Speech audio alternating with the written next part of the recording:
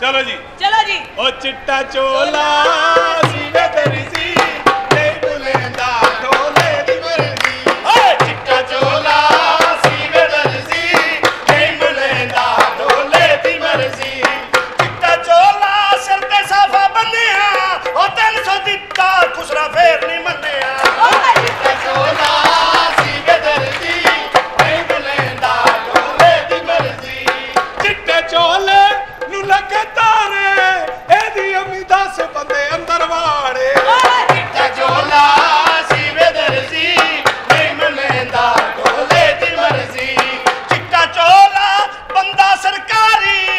ਖੁਸਰਾ ਨਹੀਂ ਮੰਨਿਆ ਹੁਣ ਤੇਰੀ ਵਾਰੀ।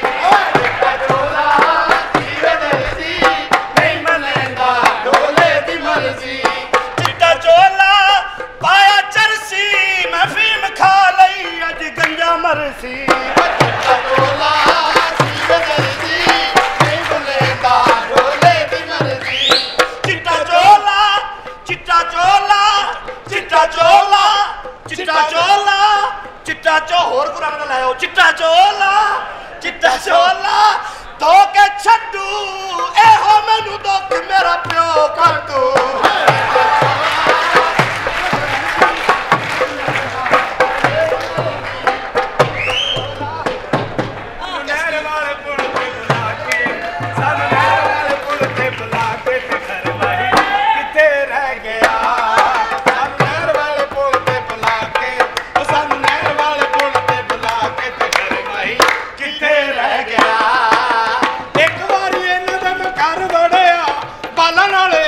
ਇਹਨਾਂ ਦਾ ਸੀ ਵੇੜਾ ਭਰਿਆ। ਇੱਕ ਵਾਰੀ ਇਹਨਾਂ ਦੇ ਮੈਂ ਘਰ ਵੜਿਆ ਬਾਲਾਂ ਨਾਲ ਇਹਨਾਂ ਦਾ ਸੀ ਵੇੜਾ ਭਰਿਆ। ਇੱਕ ਵਾਰੀ ਕਿ ਖਰੇ ਦੋ ਵਾਰੀ। ਹਾਏ ਹਾਏ। ਮੇਰਾ ਖਿਆਲ ਹੈ ਇੱਕ ਵਾਰੀ ਤੁਸੀਂ ਆਪ ਗਏ ਹੋ ਦੂਜੀ ਵਾਰੀ ਇਹਨਾਂ ਨੇ ਤੁਹਾਨੂੰ ਆਪ ਲੈਣ ਆਇਆ। ਤੇ ਨਾਲ ਮੈਂ ਵੀ ਚਲਾ ਗਿਆ ਸਾਂ।